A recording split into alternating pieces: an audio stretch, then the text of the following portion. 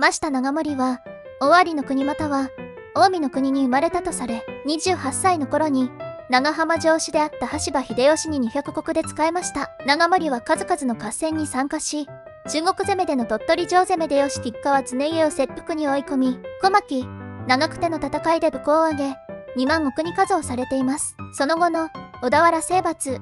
文禄の駅、秀継事件など文武で活躍し、五奉行の一人として大和の国郡山城に10万石を与えられます。秀吉の死後、関ヶ原の戦いでは、西軍に属しながら中立の立場を保ちますが、家康に許されず、戦後には改易され、高野山で余生を送ることとなり、大阪夏の陣で着難。